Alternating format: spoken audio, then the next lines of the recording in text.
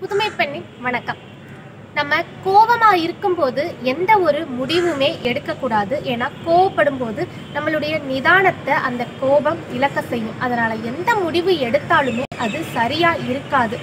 கோபத்தை கொஞ்ச நேரம் கழிச்சு நம்ம பொறுமையா யோசிச்சதுக்கு அப்புறம் ஒரு முடிவு எடுக்கும்போது அந்த முடிவு தெளிவானதா சரியானதா இருக்கும். அதே மாதிரி தான் நம்ம ரொம்ப மகிழ்ச்சியா இருக்கும்போது யாருக்கும் எந்த ஒரு வாக்குறுதியும் கொடுக்கக்கூடாது கோபத்துல எப்படி ஒரு முடிவு எடுக்கக்கூடாதோ அதே மாதிரி நம்ம மகிழ்ச்சியா இருக்கும்போதும் நம்மளுடைய மனநிலையை நம்ம இழந்துருவோம். மகிழ்ச்சியா இருக்கும்போது என்ன பண்ணினாலும் அது நமக்கு பெருசா தெரியாது.